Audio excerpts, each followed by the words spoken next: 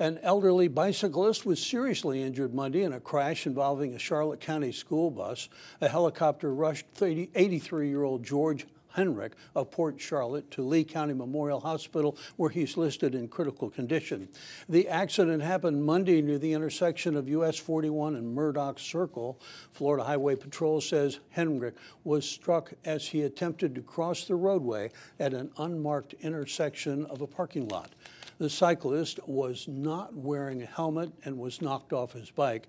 The investigation is ongoing.